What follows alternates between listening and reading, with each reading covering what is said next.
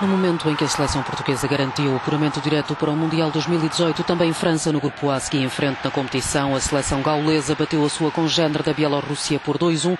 Golos de Antoine Griezmann e Olivier Giroud. Antoine Saroca ainda reduziu a vantagem, mas a história do jogo estava feita. Os franceses não precisavam sequer de vencer para passar à final, já que a Suécia perdeu frente à Holanda por 2-0 e viu-se obrigada a ir ao play-off.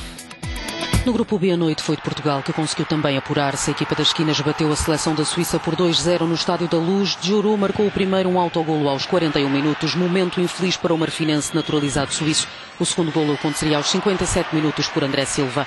Portugal e Suíça terminam a fase de grupos com os mesmos pontos, mas os portugueses com 28 golos marcados contra apenas 18 dos helvéticos que vão ao play-off.